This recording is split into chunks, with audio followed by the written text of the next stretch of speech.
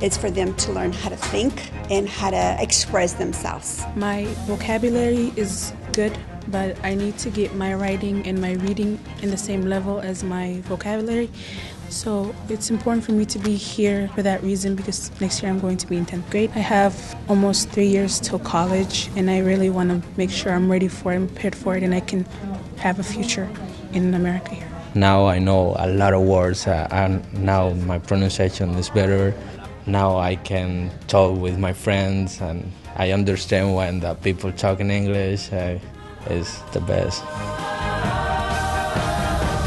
I really love it because you play sports and you have academics, and they really teach you a lot. You have science, language arts, math. It is a sports program on a college campus with the vision of getting kids to see their future and how they can be on a college campus and what could potentially be their future. The thing that I like the most about is like when people come and participate, have fun. So out here we focus on the body, we play sports, we teach them about leadership, sportsmanship, teamwork. And it's like not like actual school because in the classes you get to like play sports in the classes, not just outside like like in science, we're learning about bones and the things that help you during sports. It's cool, it's fun. The way to kick out the summer. All of my friends are here. The teachers are nice and they do a lot of fun things.